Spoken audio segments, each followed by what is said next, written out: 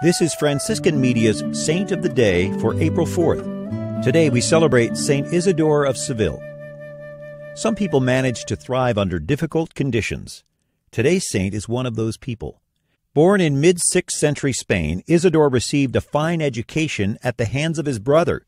Years later, Isidore became known as the schoolmaster of the Middle Ages. He is also known for his contributions to the Church and culture of Spain in a period of great conflict. The Visigoths had invaded Spain 150 years earlier and established their own capital. Though Christian, they followed the heresy of Arianism, which denied the divinity of Christ. Isidore converted many of the Visigoths and made Spain a center of culture and learning. As Archbishop of Seville, he strengthened the seminary system and founded schools that taught every branch of learning. His own writings were voluminous, including a history of the world. Devoted to the poor throughout his life, Isidore increased his charities as he aged.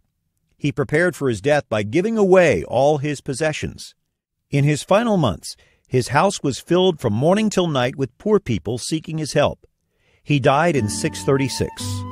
There's more about the saints along with inspiration and Catholic resources at our website, saintoftheday.org. From Franciscan Media, this has been Saint of the Day.